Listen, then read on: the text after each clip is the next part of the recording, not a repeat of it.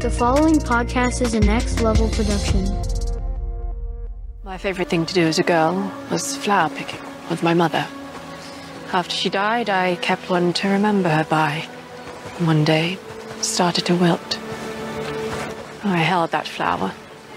I don't know why exactly, but I began to feel warm inside, and the flower bloomed again.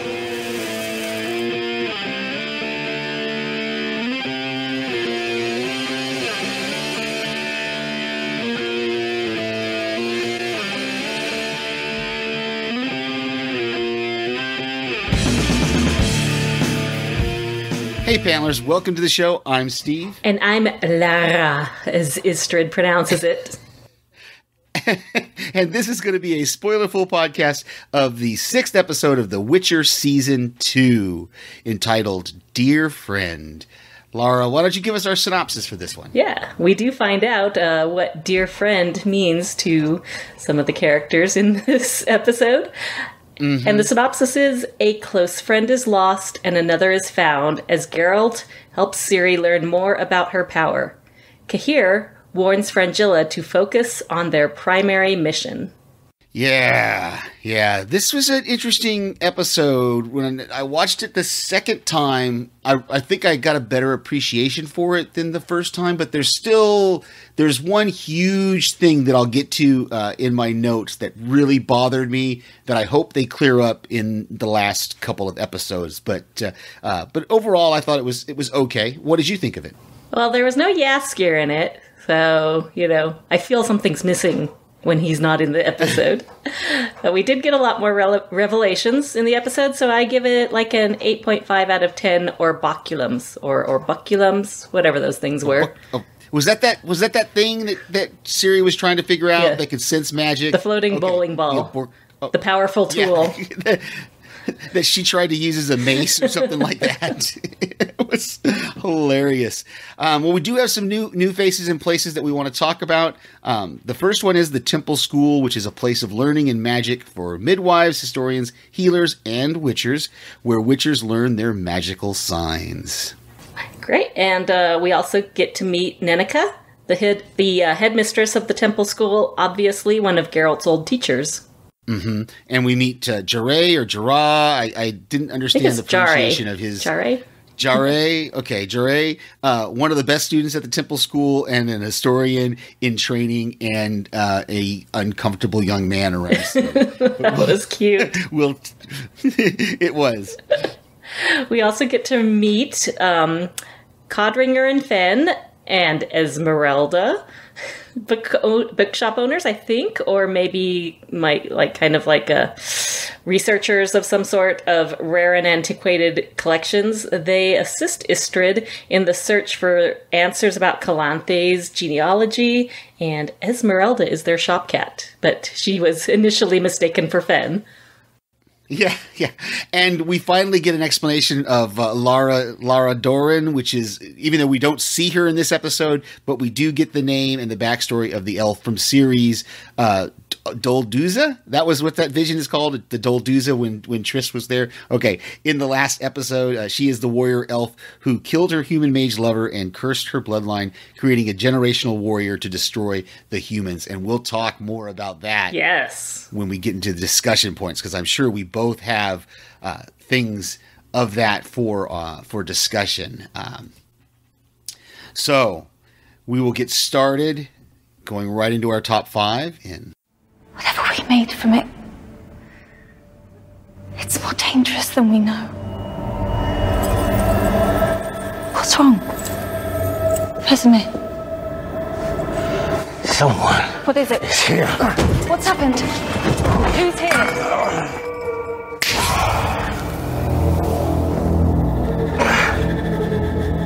Surprise. Laura, why don't you kick us off? Okay, my number five highlight was the power dynamics in Cintra between Kahane and Frangilla. So Kahane, uh, did I say Kahane? Here, Cahir has returned to Cintra. Uh, Fringilla has been in power for a little while now, and they're vying for power. Um, he's kind of using the soldiers and the white flame as his leverage, while she is using Francesca and the elves as hers. On on his side, the the soldiers, the army, the Nilfgaard army are not happy with all these elves coming in and taking over things. They're not happy with Frangilla kind of usurping his power role since he's been gone. And on her side, Frangilla is basically a savior to the elves. She goes and greets them as they come off of the boats. She- you know, they. She, uh, Francesca basically says this is the person who is providing you sanctuary, who's saving you from all these other northern kingdoms. And she also saved Francesca's baby basically when they thought that that the child was stillborn and that she was going to have another um you know child that didn't live to through her birth and and then Frangilla brings her back in without any magic you know just just warmth Yeah. Yeah, I love that, and this was one of mine as well. So I'll just I'll I'll I'll do my first discussion point as some of the, the same kind of things.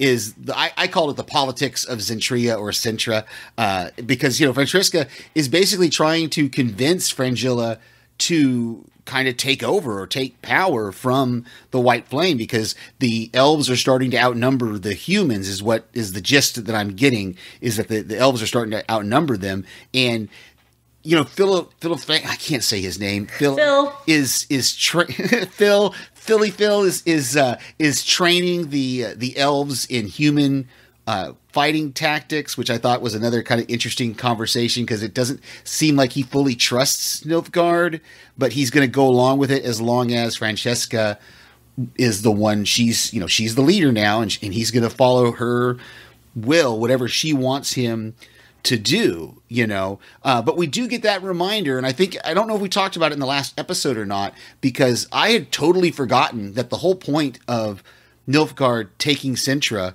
was to capture Ciri. That was the, the whole the whole reason for it was that the whole reason they attacked and took over the city was to capture Ciri, and they didn't get her. And so Cahir, as you mentioned in the synopsis, is trying to get Frangilla back on that that primary mission of getting Ciri. Now, whether and you know, the, I think it was uh, at the end who started it, or one of them was talking about the importance of Ciri and why different people would want her.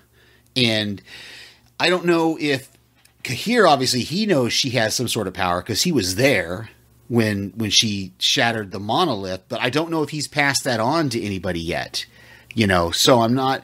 But he, like I said, he reminds that whether it's for political reasons or for magic reasons or for whatever he's he's trying to get them kind of back on course and of course we get that revelation at the end that the white flame is coming and we're going to actually have maybe get him on screen i mean we only got two episodes left mm-hmm. So a, a lot's got to happen in these last two episodes so Yeah, that whole confrontation Yeah. between Cahir and Frangilla kind of gave me Game of Thrones vibes, where you know you have these two op- political opponents talking, talking very uh, politely to one another, but really, you know, there's these undertones of a power struggle, and and you know he's telling her, you know, all these. Uh, elves have hope. What are they going to do when they realize they won't need us when they start to propagate on their own and and they don't need us anymore? And um you know and then he drops the big bomb on frangilla that the the white flame is on his way here. So it's like dad's coming home. Yeah, yeah, and I it didn't occur to me until today when I was rewatching the episodes that both shows I'm covering, uh, Snowpiercer and The Witcher, both had births in the episodes this week because Snowpiercer just had a baby born uh, on on that show as well this week. It didn't occur to me until today. I was like, wow, both shows are.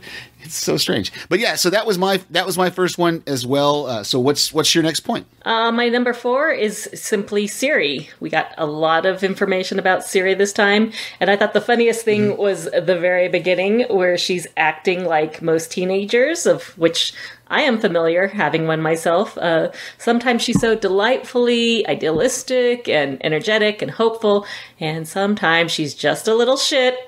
and she's sitting there on Roach Yeah. as they're walking through the, the forest, and she's like throwing jabs at, at Geralt, saying, You never listen to me. You don't care what I think. La la la. Rah, rah, rah. Geralt's just walking whole, "Are we there yet? Are we there trying to ignore her. Yeah, yeah. But then we do get a cool scene of her helping out Geralt uh, for the first time with his monster hunting. and uh, we get a Chernobog coming after them. It was the same one that, that flew out of the, the chasm in uh, Cintra. And uh, I mean, she's basically being his bait, so she's not she's not Yeah. really fighting against it. But it, it took a lot of courage for her to stand there and not run away and let it come after her. Yeah, and he gives her that compliment, you know, that she stood her ground, and he was proud of her. So I, I, I was really, you know, thankful for having that moment with him. It was a short battle, but uh, I'll talk about that more in one of my other points. But since you brought up Ciri, I have a point all about Ciri that I want us to discuss because this is this was my part of the episode that gave me just both times I watched it, I was just like, what is going on? Does Ciri have like a GPS locator chip in her or something? Because like Rience shows up at, at Catamaran eh, just from a quick comment that Jaskier makes about a Witcher keep somewhere in the mountains. Right. And that's enough for him to show up at Catamaran. When I thought Catamaran was supposed to be this like hidden Yeah, it's hard to find. you know. Uh-huh.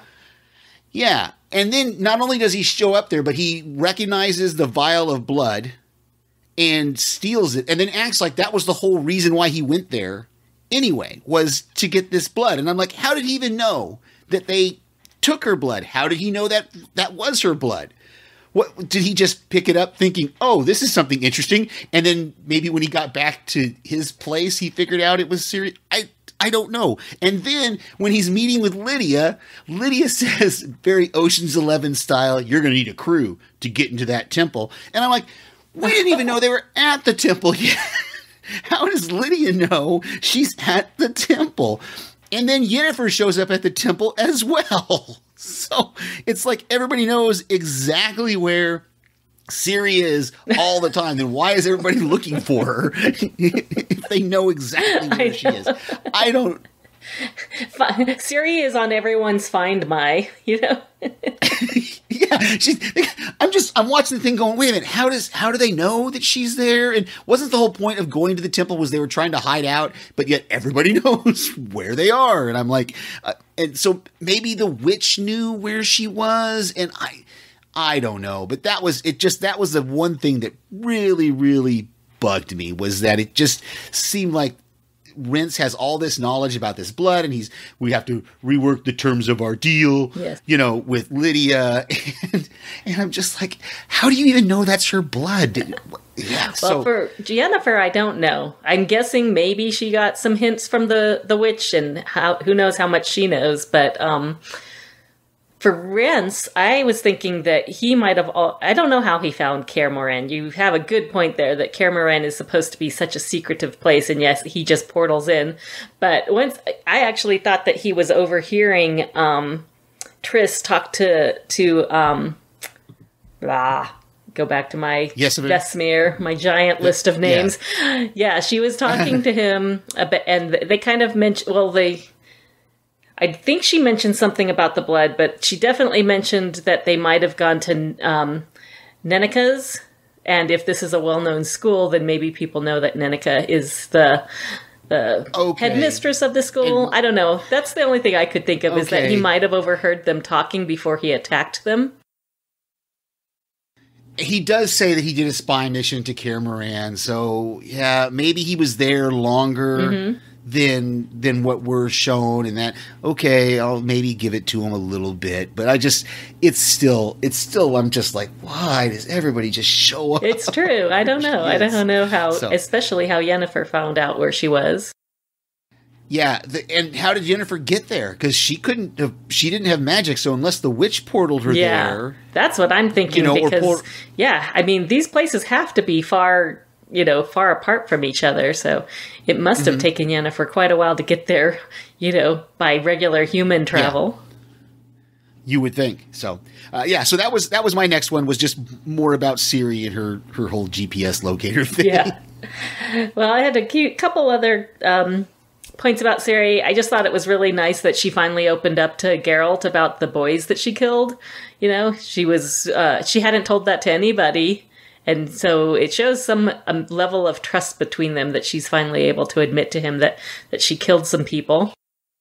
And um, you know, she has a heart to heart with Nenneke. She's telling her about how her again how her grandmother just hated the elves and and Nenneke says to her, you know, well, you know, you may be the thing that kind of can end that cycle of hatred, which is something that is brought up quite a bit about Ciri is that, you know, she has the power within her to, you know, destroy humanity or possibly bring it together.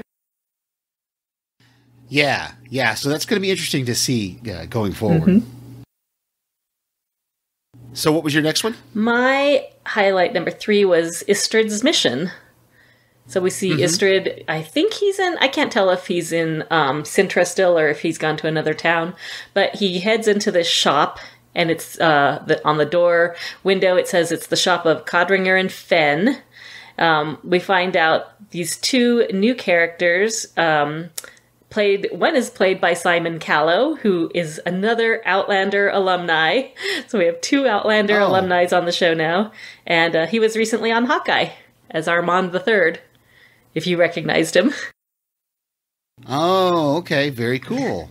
well, um, so basically they do a bit of old fashioned old fashioned research on um, Calanthe's bloodline. He can he also kind of wants to know about the monoliths. Um, they tell him basically who the voice was that he saw heard in the last episode when he was down in the chasm with Geralt. Uh, Fenn tells him that that was Princess Cirilla of Cintra. Um, I don't know how she knows, but like you said, everybody knows Oh, about yeah, Ciri. they- well, and they know things. Yes. So, you know. They drink and they know things, although I didn't see them drinking. yeah. But they do, um, you know, he mentions something about a gene that is apparent in all the females of this bloodline. Um, can't quite pronounce it, but he spells it out to her when I, and I'm guess, guessing what is elder alphabets. Um, and they look in an old book and find out that um, they find basically tell him the story of Lara Dorren, who was the elf beneath the tree, the elf in the story. Um, she was she basically is kill she has to kill her human lover and um, is therefore i believe killed by humans and she creates this um, curse in her bloodline saying that there will be you know it's st- supposed to create a weapon to destroy humanity and then they realize there's a a, a mistranslation Fenn does and that it's not actually a weapon it's a warrior Right. Yeah, that was great. I love that scene. Those, I love those two characters. I hope we get some more uh, from them. They were just they were fun to watch and fun to have on on screen. That that that whole thing was really really impressive. Um, so my next one is uh, we finally got a creature battle. You you talked about it a little bit already. The the Chernobog. Uh, we've not seen one except for that sewer creature in you know two or three episodes. So I, I loved seeing Geralt using his the magic uh, pushing power that that uh, that they have. Uh, that creature was incredible with the wings and flying, and that face um, was was really cool looking, almost rock like, but then also creature like. I thought was great. Um, that shot of Geralt when he takes the potion and, and his eyes go black and he's got the rock face behind him. That's been Netflix's. I don't know if you noticed this or not, but that's been Netflix's screenshot for this season sweet the the entire time. So every time I would pull up my Netflix, I would see that shot, and I'm going, "When is that shot going to happen in the show?" So I love that we finally got to see it. But uh, but yeah, and that whole thing it confused me the first time. Him jumping out of the trees with those branches in his hands, and it looked like he cut the thing in half with one of those branches and then he says where are my swords and i'm like where were his swords you know because we don't see them anywhere and then the next scene they're back they're on his back again but I, I love that this is also the moment you, you alluded a little bit to it where I think they're starting to figure out that these monsters are not trying to kill Siri. I think they're trying to capture her. Mm-hmm. And so I I don't know if they're tied in with the witch or what they're what they're about. If there's some other force that's directing them, but it just it was so great to finally get another uh, monster battle from Geralt and uh, a monster. I was actually I had a theory about that and I don't know because I haven't gone back and done the math to connect the two um, events, but I I have a theory that every time Ciri uses her magic, it summons up another monster through the portals of the monoliths. I can't remember. I'd have to go back and see how many hmm. times she used her magic and how many times Every time, an- like, of a her beast visions- came up. yeah. you know, there's the time that she first destroyed the monolith, and then the time that she killed those boys who were coming after her. Um, obviously, well, you know, this last time when she was screaming for Geralt, she was using her magic, and the thing actually like cre- was created at that point. Interesting. That that would be that's an interesting. That would be something interesting to go back and rewatch again to to try to figure that out. That uh, that's interesting. Yeah. But the sad result of that monster fight was that we lose Roach. I know. so sad. So sad. Oh. And I love that. It's almost like a prayer that Geralt says over her before he puts her down. Mm-hmm. Um, I didn't write it down, but it was it was sweet. I felt so bad for. Yeah. Something about walking. Yeah. Yeah. It was really. I should have written it down. Yeah. But I didn't. It was so sad, and now we have no Roach. yeah. I'm sorry. Well, you know, horses don't do well in a lot of these fantasy fiction stories. it's true. it's true. So I'll move on to my number two highlight. Yeah. And that is uh, Geralt and Yennefer reunited. And in my notes it says hot. so Geralt's sitting in his room. And- oh, go ahead. I, I was just going to say, th- real quick about their reunion. This is where we hear them say the title of the episode. They say it twice. dear friend. This is my dear friend. Oh, I'm a dear friend. so it was great. That was great. So no, go ahead. So go on. Um, aka friends with benefits. so Geralt's sitting in his room. He thinks Ciri's coming in, and he, I mean, he doesn't even have to turn his eyes to see who it is because, as we learned in the last season, every time Yennefer's near, he has there's a smell of lilacs and gooseberries that he can instantly detect. So, um, like you said, Yennefer is referred to as Geralt's dear friend, which Yen doesn't seem all that comfortable with. She's like, friend, huh?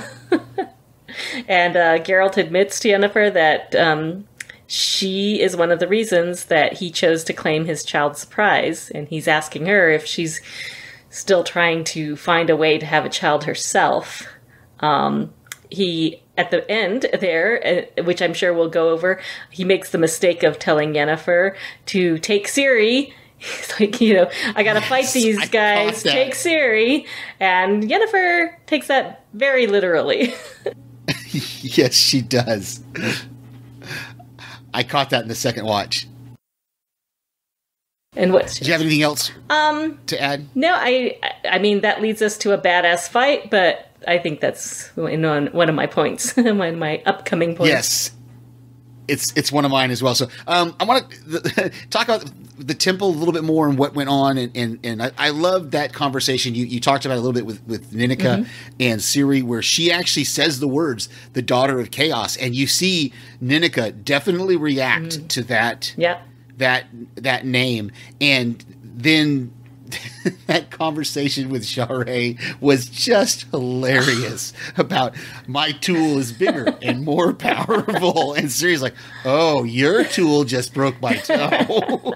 you know, it just, it just, it was just, I just laughed the whole time, both times watching it because it was just hilarious. She gives him this really cool look that she just, just they just nailed that conversation. It was so sad. I hope he's not dead. I hope he's not. I he just got kind of beat Yeah. up because it would be fun to see what happens uh, with with the two of them if anything else does happen. I don't know if anything will, but it was just it was just hilarious to see how uncomfortable he was around her and that she recognized that and kind of played on it. I thought was really hilarious. I know he's so funny because he he's just he's such a nerd. He comes in there holding his books, and you're like, "Oh, look, he's one of our best students." And he, I could just hear his, him in his head going, "Oh, pretty girl." exactly, exactly.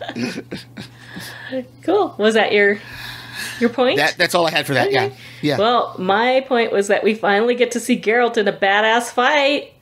That was cool. Yes, I called this. I I called this the hand to sword fight. Is what I called it. But go ahead. I'll ta- take my, take my points when you're done with Yeah. yours. so you know he he's given up his weapons because in this temple um, temple school you're not allowed to have any weapons, which makes it really difficult if someone decides to attack the school. so he's he's just got a hand to hand fight them. But you know, even two humans and a mage against uh, a witcher is probably unfair odds. he's got super strength, super hearing. He's got magical, um, you know, magical motions and things. That his telekinetics and his his different powers. So that was sweet. I it, it had a very um, Guy Ritchie vibe to it. If you're a fan of Guy Ritchie's films. Thank you. That's what I was trying to remember. I couldn't remember what the, the, freeze framing and the slow motion and the camera panning around Guy Ritchie. That's what I was trying to remember when I was watching it today. Yeah, I think other directors have used it too, but Guy Ritchie uses it in just about every movie he does, from mm-hmm. Sherlock Holmes to Snatch. But um, mm-hmm. it's a great fight scene, Ugh, and, and it's very bloody too. And we haven't seen a lot of blood gush. No, not many waterworks this season, but this one was full of it. Mm-hmm. Yes. And then, um, as he is busy fighting the two brothers, um, Yennefer and Ciri lock themselves in a room and are basically trying to get away from Rance, who's using his fire magic to burn the door down. and, um, you know, Yennefer can't do anything. She has no magic, but that orboculum, or whatever that thing is, the, the giant floating uh, bowling ball starts to glow, and Yennefer says, "That's not my magic. That's yours. That it's detecting." So you know, she tell teaches her some elder words. She says she's going to teach her the first um, spell she ever learned, which is not really learned because she did it on accident when she when she created the portal Yeah. to escape in the very first season. Um, but Ciri is able to do it, and as they're walking out, and Geralt has dispatched of the um, the attackers, and he's dispatched of Rience, who I believe portals out of there really quickly. Yeah, I think I, what I caught the second time was I think um, Geralt throws a sword Mm-hmm. at him, and I think he portals away. I don't know if it's not really portaling; he's almost a teleportation kind of thing. I think because he just puffs into like smoke Mm-hmm. and and disappears. So I think that's what happened with with him was he just kind of makes this smoke and disappears. But yeah, Yeah, I, he I'm pretty sure he GTO didn't get hit out of there. Yeah, So, um, and as he looks through the burning door, he sees uh, Ciri and Yennefer walking through the door, and it's just so sad. It's so heartbreaking. He's he's just like Yen, and she's like, he's like, don't. She's like, sorry, Yeah. sorry, pal. the lady's got to do what she's got to do. Yeah, yeah. Um, yeah, that, this was my number one point as well. Was this end fight scene that was so just it was great from from the moment when Ciri tries to hit the guy with the hit Rience with the with that ball thing, and then Geralt. Man, I don't know how much of that was was Henry Cavill uh, doing that, but there was some incredible cool moves. The one where he pushes the guy up. And then, as he's falling back down, he stabs him in the head uh-huh. with his own sword. I was just like, "Oh my goodness, that's just amazing!" You know. And then he's like chopping guys' arms off and slashing legs and grabbing. It it just, it was such a great fight scene. And then, like you said, Yennefer taking Ciri through the portal. But yeah, I- I just, and I loved all the camera work that was done in there, like you said, that, that Guy Ritchie style with the stop and the slow motions, and just was an amazing, amazing fight scene. And we haven't had that kind of a hand to hand kind of fight scene or or you know man to man kind of fight scene in a in a while. I don't think this season at all we haven't had it. So it was really great when he I just knew when he came into that room and and is trying to get Rience to, to leave and he's just like if you guys stay something bad is going to happen or something something like that and Rience is like mm, I think we're going to be okay. He's know? like, well, at least I'm going to be okay. yeah yeah exactly These two knuckleheads These can keep you busy for a while. Yeah, these are the Michelet brothers, and they're so yeah. It was it was great. It was just wonderful, wonderful stuff. Yeah, I don't think we've seen him in a hand-to-hand battle like that since um, Blaviken, when he was titled Yeah, the Butcher was- of Blaviken, and he took out um, Renfri's entire band of bandits there. Mhm. Yeah. That's that was the first season, so it's been a Uh-huh, while. First So- episode of the first season. Hmm. Um, So, we got some notes here. Yeah. Seeing, I'm looking through to see what. Uh, there's a few of my notes that we haven't talked about. Um, I had a WTF moment uh, when Francesca is talking about her the story from her childhood, and uh, she says she slit her own father's throat, and the village wanted to make a stat build her a statue. I was just like, what? How bad was her father that? That a she kills him, and the townspeople are like, "Hey, we're gonna make a statue." yeah, so that was that was one of mine. We are on the same wavelength, at least there, because see, my last note here says Francesca's backstory of her and her brother killing her father. WTF? I mean, was the only thing I could think of is maybe it was a town full of elves, and you know, she. I'm guessing she's half elf or something, and her father Yeah. resented her for that because she showed powers, and that's maybe why she ended up killing him. Maybe, maybe I, I don't know, but it was it was just, I, just one of those moments when both times I was like, "What?" like, um, let's see. I'm looking through my notes to see if there's anything that we haven't talked about. Um, the scars on Rience's face are pretty wicked looking. Um, and they brought up Geralt brings up the trial of the grasses. I think you you called that a few episodes ago. The the what that's what the changing when they give them the serum to change them into a witcher is called the trial of the grasses. Yeah. Um, the the wild hunt is mentioned again. You you talked about that before. The, it's mentioned again. I was wondering if we mentioned it in the last episode when Ciri was in her her dreamscape there, and she looks up and she sees those spectral riders in the sky. I'm assuming that was the Wild Hunt. Okay. Maybe maybe so. I'm not sure. I don't think we talked about it the last episode. I think it was two episodes ago mm-hmm. when you when you brought it up that the guy was going through the town Yeah. saying that the wild hunt was coming.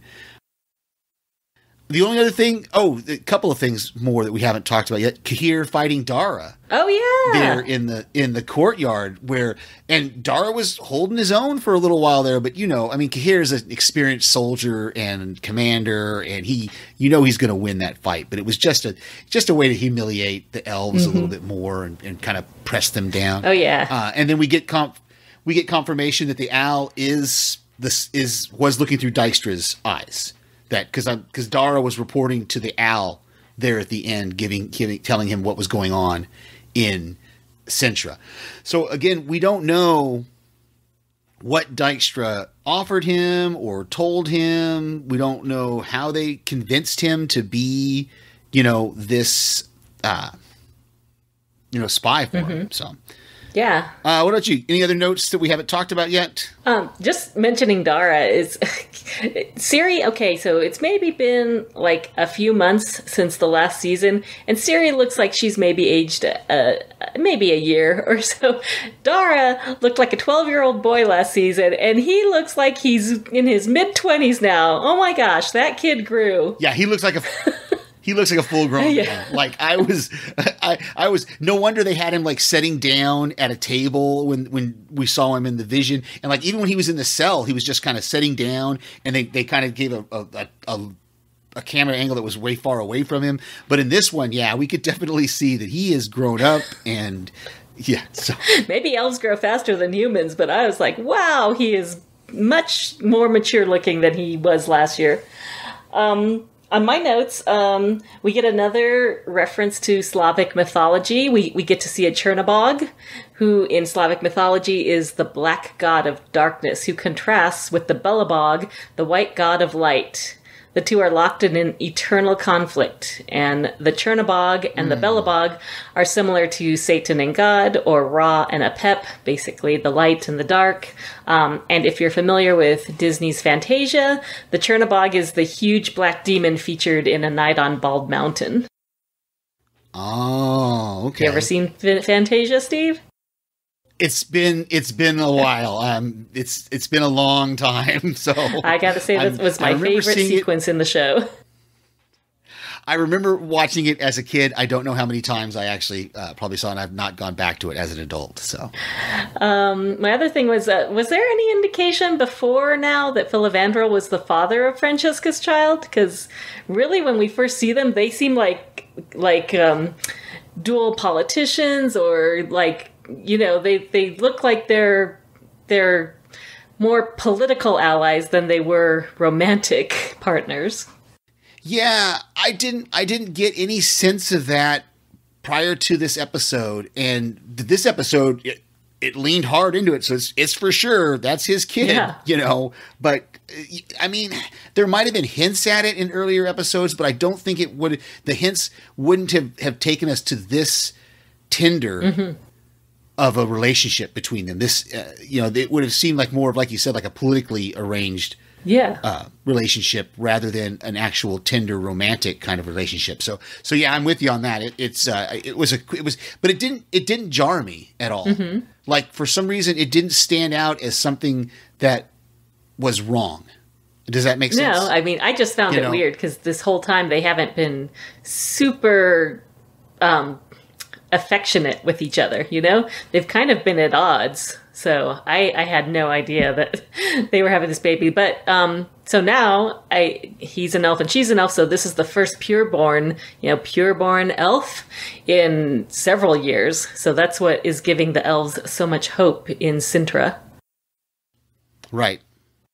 Um, another point is the elves don't seem built for aggression. Um, so Francesca suggests that they really only fight for defense, and Filavandrel tells her that you know one day they'll be able to appreciate beauty again, and you know that kind of gives me the old idea of the elves just being these high, highborn, very um, aloof kind of species and they just love beautiful things and they don't really fight and they're more peaceful and intelligent. Um, I don't know. Did you get that sense? Yes, yeah, absolutely, and that's why, like, when when I talked about Phil, Phil, Phil talking about how he was teaching the elves to fight in a human way, and I, I kind of wanted to think, well, what's the elven way to fight then? Because we know that there are elven warriors, but what was theirs? Maybe they had a style of fighting that was different than I don't know. Uh, but yeah, I, I definitely got that that they're not they're not used to an aggressive kind of stance. Yes. Yeah, that's what I felt like. Uh, we also learned that the humans killed all the fairies, or that's what Filavandrel said when he said that Tara fought like a fairy, and he's like, "You killed them all." So Yeah. apparently there were more species on the continent than than we know of. And we got a mention, it was real quick and it got cut off, but I can't remember which character it was, says something about the continent and the islet. And talking about like another area.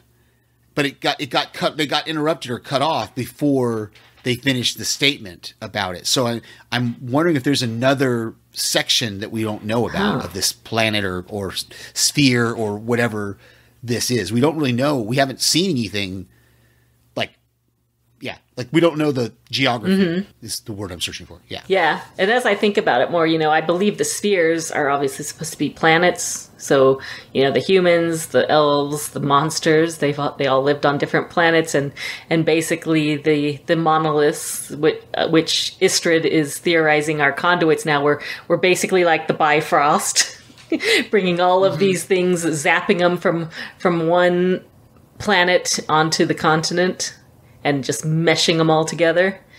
And I thought you were going to mention that we did get a mention of a unicorn too, from uh, from Oh, I Yennefer. forgot about that. We did. Was that in? Was that in the first season or the second season? no, I don't think there's ever been a mention unicorn? of a unicorn.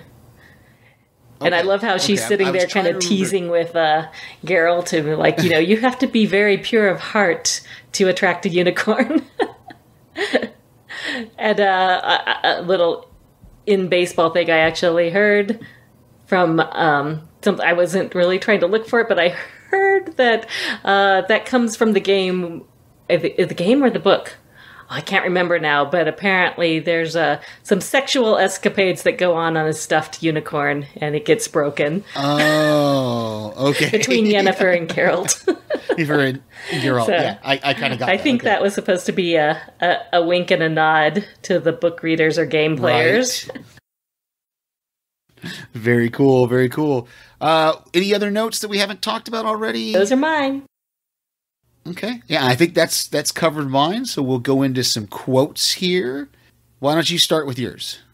as Rience and Lydia are speaking together in the tavern about the blood and um, basically what she, he needs to do to get into the temple, uh, Rience's response to Lydia is better to be on the right hand of the devil than to be in his path.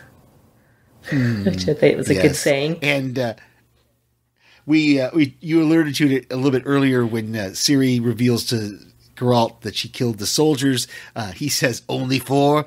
You've got some catching up to do." That was nice, and I think it was kind of an, a, a way of uh, Geralt deflecting the guilt that she felt from that because he's like, "Oh, I've killed, I've killed way more than four four guys. You've got to catch up to right. me." Oh yeah, it it was definitely a way of trying to encourage her and telling her not don't dwell on don't dwell on the past. Mm-hmm. Well, you mentioned this too, but I just loved that Jarre said, I don't want to brag, but my tool is bigger and much more powerful. And Ciri says, Your big tool almost broke my toe. As he drops his big tool, his gigantic book, on her toe. Uh, and then that scene between Nenneke and and Ciri, uh, Nenneke says, "That spirit, you're so like him. Ask him to tell you about the Aard incident that nearly destroyed the office you're sitting in." I thought that was just just a funny a funny kind of aside to go. I wonder if we're going to get that story. So the Aard incident because I, had to. I, well, the second time I actually watched it, it is it's it's Aard. It's like a n- like a noun, a capital A A R D. That's what the subtitles had. So. I'll be interested to see if we ever find that out. But that was I want to ask Geralt about the Arad incident because I want to know what happened. uh, and my last one is the interaction between Yennefer and Geralt when Rience and his mob shows up, and Yennefer says, "What happened to your face, shithead?" Geralt's like, "Fire fucker." And Yen's like, "Unfortunately, yes." they play so well off of each great. other, and I absolutely love it. Yeah. I hope I hope they haven't. This relationship hasn't been broken uh, permanently. So oh no, I think they're bound by destiny. um, so I looked. I did not see any feedback today. I will make sure to look again next week. I did. I did send out a post earlier this evening uh, to try to get people to. Uh, to react to it, but I will. Uh, I will try to be better, uh, panelers, about putting out a post, letting you know to give us your feedback for this week's uh, episode. Um, but for now, uh, podcast recommendations. Really, the the only one that I would think of off the top of my head is Walking Dead has returned, and so Walking Dead cast is back with Jason and Lucy, and I just love their interactions and how they dig deep into an episode and give it. So, uh, if you're a Walking Dead fan, check out Walking Dead cast. Yeah, and if you're a fan, you get a double dose of Walking Dead this week because they also just published their interview with Ross Marquand. Ah, Cool. Um, well, mine is another Podcastica podcast, and that's House Podcastica. They have just recently wrapped up their coverage of the Book of Boba Fett, and that I just wrapped up watching it, so it, it was very good timing, and um, I had a lot of fun watching that. That was cool, and I and we got to see some familiar faces in it as well. yes. But I do have a non pop culture, non entertainment recommendation, which I think I can throw out there, hopefully. If there's any Yeah, uh, foodies sure. out there in the audience, um, I really like the Always Hungry podcast with Sophie and Bobby Flay. Uh, I grew up watching Food Network. I'm a total food nerd. It basically taught me how to cook. I was never a big Bobby Flay fan. I thought he was kind of arrogant, but I've been listening to this podcast since it started with him and his his um, grown daughter Sophie, and they have this great father daughter rapport. So even if you're not a foodie, it's fun to listen to them talk to each other and and play off each other. They're really cool. And you have a YouTube recommendation for us this week. Yeah, so me at least, I don't know about you, but Burn Butcher Yeah. Burn Butcher Burn has been an earworm in my ear all week, uh, just singing it over and over, and, and I love it the more I more I listen to it. If you go to the Dan Vasc channel, that's V A S C, he does a killer metal cover of Burn Witcher Burn. He also does a cool metal cover of Toss a Coin to Your Witcher and a bunch of other cover worthy songs. So check it out. Very, very cool. Well, as we say each week, uh, you can hear us on your podcast player of choice, whether that's Spotify, Google Play, or Apple Podcasts, wherever you can hear us. We would love to get a review from you. We definitely give you a shout out if that comes up, if ratings are available. Give us a five star review or a rating, and we would, uh, yeah, on any of those platforms. And check out our new webs check out our new website at panels two pixels podcast T O pixelspodcast.com. To submit your theories and feedback on Facebook, you can go to our Facebook group, which is facebook.com slash panels to pixels. And we are on Twitter at panels, the number two pixels. You can also send us an email at panels2pixels1 at gmail.com. That's panels2pixels1, the TO in the middle there, and the number one at gmail.com. And if you're on YouTube checking out Dan Vansk, also check us out. Just, just search for Panels 2 Pixels Podcast and please give us a thumbs up. We are on Instagram at panels2pixels podcast, all spelled out in words, panels2pixels podcast. Check out all the other podcasts on the Next Level Podcast Network. We highly recommend them. Wilhelm, The Melting Pat, Podcast Zero, and so much more. Go to nextlevelradioonline.com to check them out all out there. And next time we will continue with The Witcher Season 2, Episode 7, which is entitled Voleth Meir. That's my best way I could think of to translate That looks like a that's that looks right. Who knows? Um, obviously, you can hear me uh, right here on Panels to Pixels. Daphne and I will continue our Snowpiercer coverage uh, with uh, season three. Uh, the next episode, I believe, is going to be episode six. I think that we're going to be on next week, something like that. Uh, Snowpiercer is ten. The Witcher is eight, so it's going to be a little bit of a, a, a gap there. But and Laura, what is your podcast proposal of the week for us? Okay, let me think. This is actually something that may happen. Who knows? I told you I was a foodie, and I am going to call this podcast Put a Crunchy Chili Onion Sauce on That. you know, you see a lot of recipes, and it's like, oh, put in put a fried egg on that. You know, hamburger, put a fried egg on it. Bowl of rice, put a fried egg on it. Um, I have this condiment sauce that I get from Trader Joe's called the Crunchy Chili Onion Sauce, and it is amazing. It is so freaking good. It is spicy, it is crunchy, it is all the good things. So I put it on everything and um not only that, but it would be a fun podcast to just go through people's pantry and just say, okay, let's see what we can invent. you know, kind of like you did in college when you were high. Yeah, there you go. So, crunchy chili onion sauce. I may have to look for that. Very, very cool. Well, again, thank you for joining us tonight. I'm Steve. I'm Laura. and this was Panels to Pixels, and we will see you on the next panel. Good night. Good night.